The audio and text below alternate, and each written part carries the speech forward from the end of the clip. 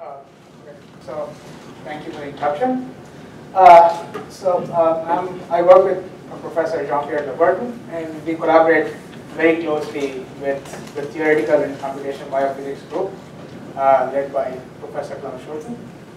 Uh, so, uh, at, at, the basics, I want to start off with uh, DNA. So, DNA is the blueprint of life.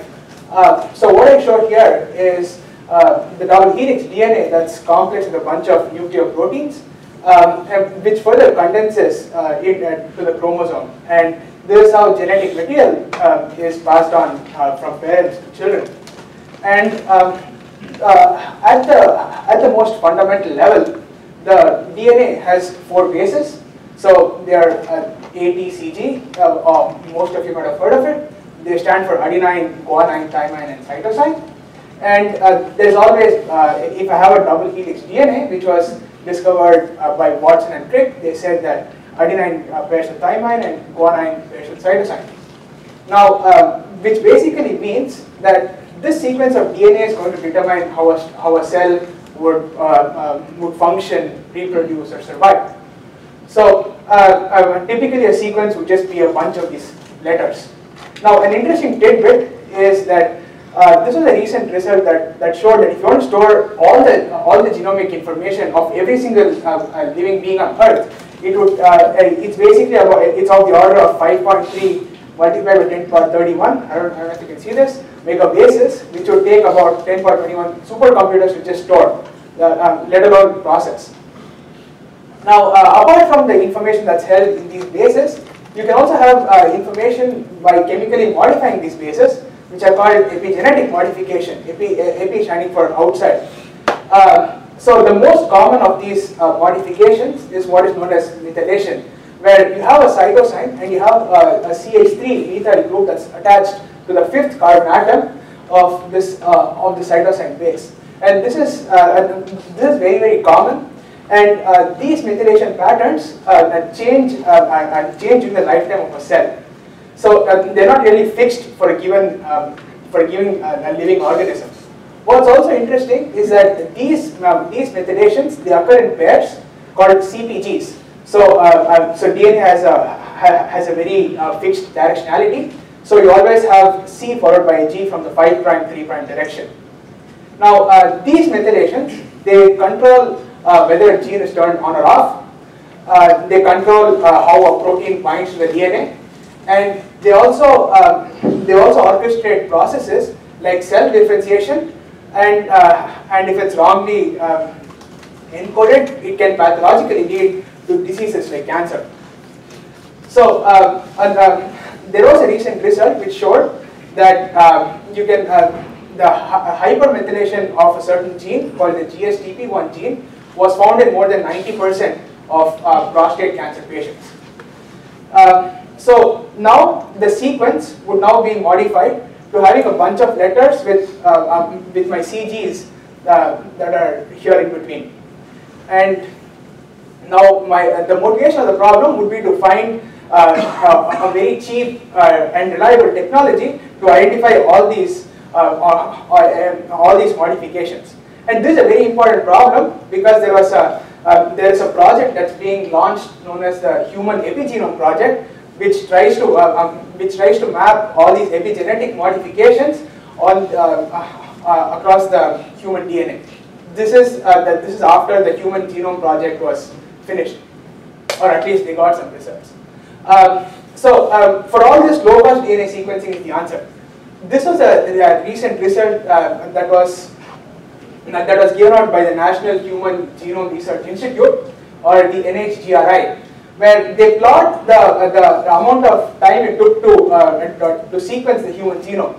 And you'll see here that uh, uh the, the white line is the, uh, is the cost it would have taken if it followed Moore's law, which the semiconductor industry follows. And clearly the cost of sequencing the human genome is much, much faster.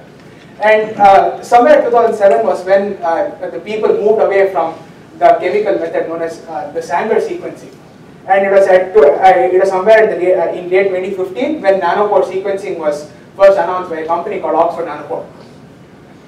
So um, what I've also plotted here is the cost versus the uh, versus these different technologies, and uh, basically uh, we want to have uh, some sort of integration of these genomic information with all these devices, and um, and for that you typically want to reduce the cost to about hundred dollars, and currently yeah, it's somewhere of the order of thousand dollars right here, and and this in uh, this in beta testing right now.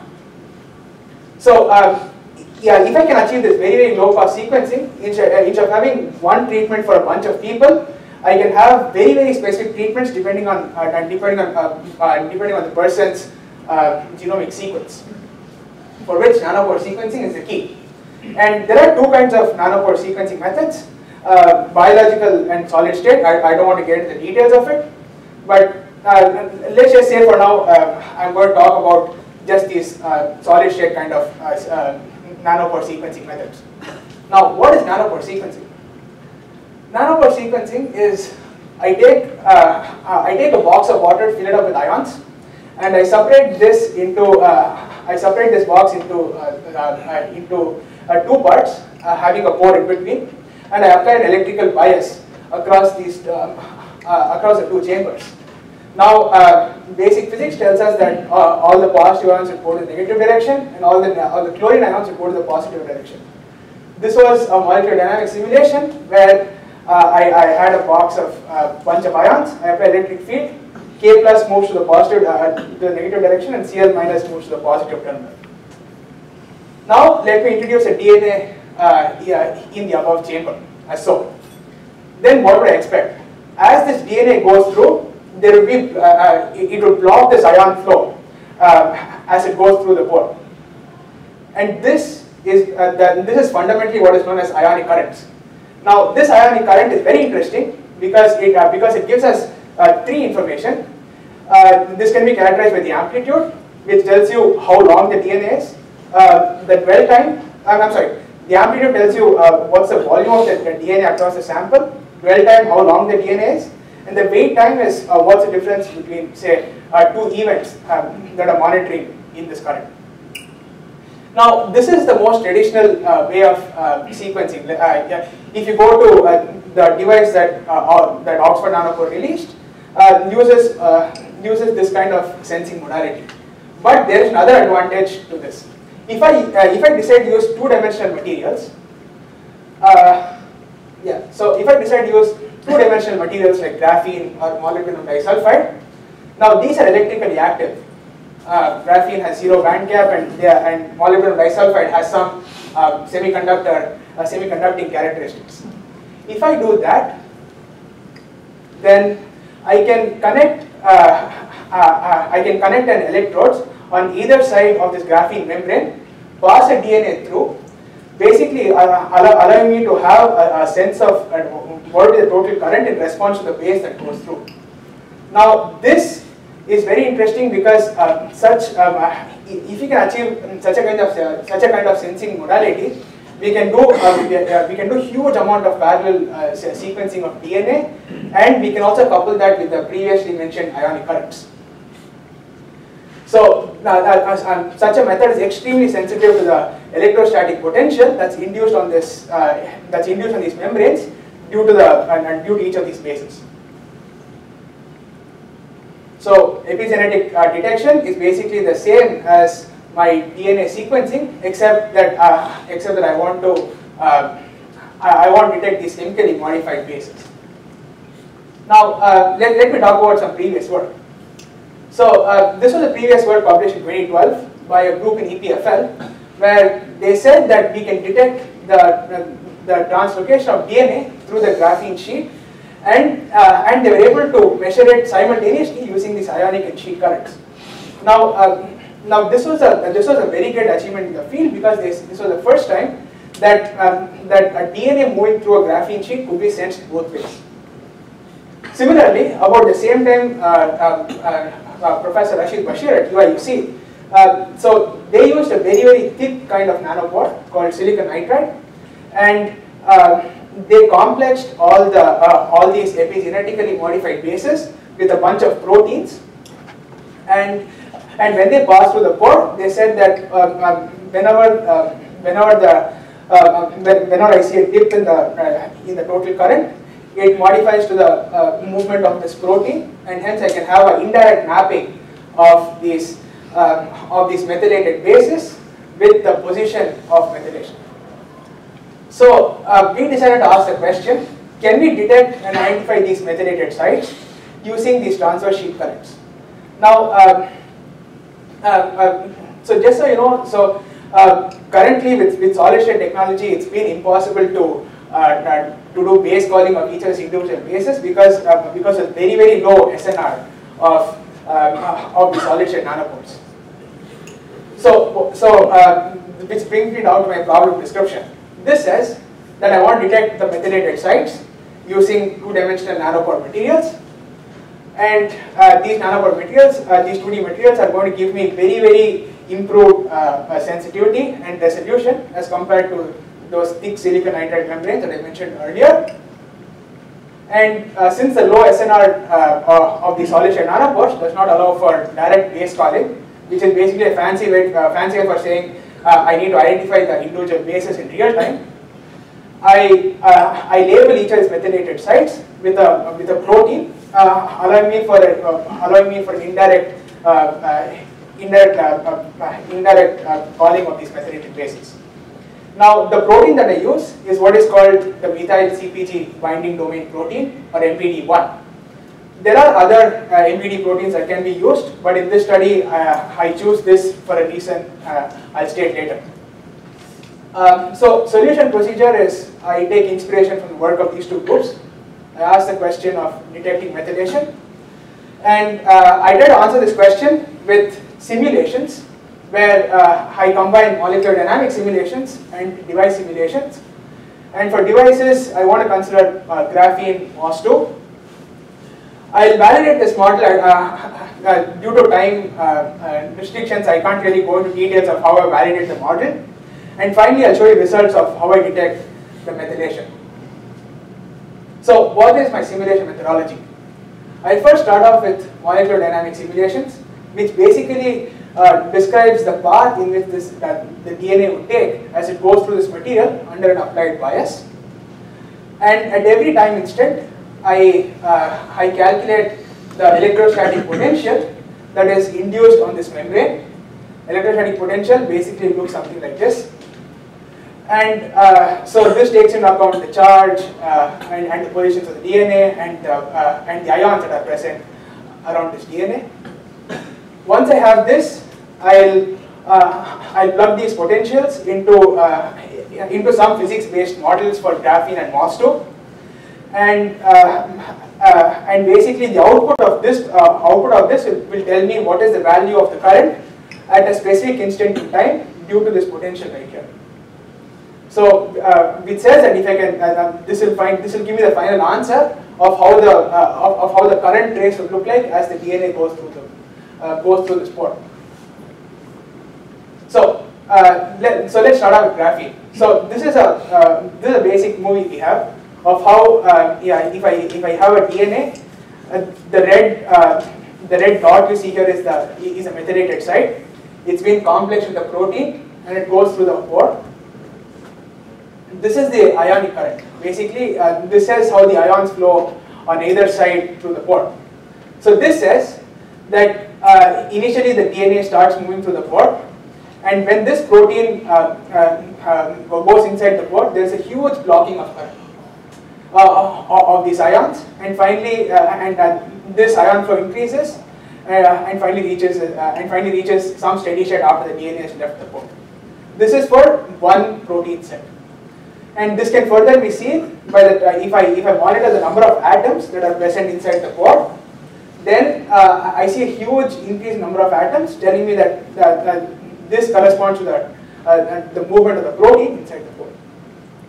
Now, when I uh, now when I measure the, the total change in the current uh, as a function of time, I find that there's a huge change in uh, the huge change in the conductance as the as the protein goes through the pore. And this huge change in conductance is due to the huge uh, change in the charge uh, that's present inside the pore. So this says that uh, that a change in conductance is due to a change in uh, electrostatic potential, which is further induced because of the protein. Now this is my basic test for saying that, okay, uh, I can use these sheet currents to detect these uh, proteins right here. Now, now let me test the limits of this. What I now do is I choose two sites that are 10 bases apart and the reason I choose they are 10 bases apart is the fact that these proteins have a thickness of about 5 base pairs. So the closest they can be placed is uh, 10 base pairs for steric reasons. And when I plot this ionic current uh, uh, similarly, I find that the, the ionic current is just one big drop right here, telling me that I cannot distinguish the two proteins. Uh, but, uh, but when I monitor the total number of atoms that are present inside the pore, I see two peaks, telling me that two proteins have gone through. But when I measure my sheet current, uh, or the total change in the sheet current, I find that there are two peaks corresponding to the two proteins right there. Now, uh, now the first question you may ask is, why are the values of these peaks different? So, uh, as I mentioned before, the uh, the current flow is very very sensitive to the to the electrostatic potential that's induced, and this is further a function of the, the movement of these proteins inside the pore. So, if, uh, if we can come up with a method to maybe uh, force these proteins to go along a certain direction and arrest all these fluctuations, uh, we should be able to see even more significant peaks in these conductance square deviations. Now, uh, what I showed you was graphene.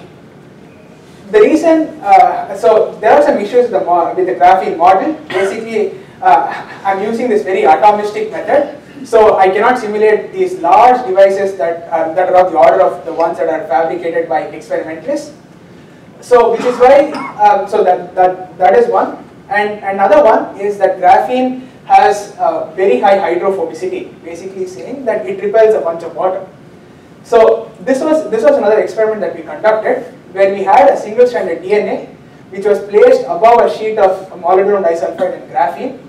And when I and, and when I run this system, I find that the total number of bases that adhere to the molybdenum disulfide sheet is much lesser than the total number of bases that are adhered to the graphene sheet. Now, uh, now this is a very important, uh, the hydrophobicity is a very important problem in solid state uh, nanopore sequencing because uh, basically as the as the DNA goes to the pore and if I use graphene, if the DNA sticks to this graphene sheet, I would have to apply an extra effort to pull the DNA away from the pore. So which is why I use MOS2. So MOS2 has a lower hydrophobicity and uh, uh, it's electrically active, so it's definitely an alternative I can look at. So let me try detection of this methylation with MOS2. So uh, this is my uh, this is my simulation setup. It's exactly the same as before, except I have um, MOS2 instead of uh, graphene. Uh, this is again uh, I plot the change in conductance and ionic current, and I find that uh, when the DNA goes to the pore, I see a large change in the conductance. And this this corresponds to total number of atoms that are present inside the pore, telling me that this this change in conductance is proportional to the to the movement of the protein. Now I want to test the limits of this again. I have two proteins that are uh, that are separated by 20 bases. There are two dips in the ionic current right here, corresponding to two peaks and total number of atoms. Let me bring them closer. I can still uh, I can still make out these two peaks somewhat, but when I bring them uh, uh, uh closest, I find there's one huge peak, but there are two peaks in the atom number. So two proteins have gone through, but only one uh, only one dip is detected in the ionic current. Let me do it with uh, sheet current. I see that, that there are two very clear peaks uh, corresponding to the movement of the two proteins through the pore. So the, then the, hence the moral of the story is that sheet current offers higher resolution. It may be more difficult to uh, manufacture and to fabricate, but it's definitely a, a, a, a direction that's worth exploring in this, uh, in this community. So uh, my conclusions are that apart from sequencing, we can use uh, solution nanopores for epigenetic modification by labeling them with these large MBD proteins. And uh, we fabricate uh, uh, and we modeled uh, this graphene and MOS2 with a bunch of by by using atomistic methods and semiconductor methods. And my graphene and MOS2 can, uh, can detect these methylated bases um, using uh, by plotting the change in the conductance as the uh, as a function of time. But the most important challenge here is the thermal motion of DNA, which creates a lot of noisy data. And this is something that uh, that our community is very actively uh, looking at, trying to somehow uh, come up with these uh, fancy device setups and um, somehow trying to slow down the DNA to to, to find a way to reduce the thermal motion and, and generate less noisy data, improve SNR. Uh, I would like to acknowledge my collaborator, Dr. Hu Qiu. He's my uh, advisor, Dr. Jean-Pierre Leburton, and also my collaborator, Professor Claude Thank you.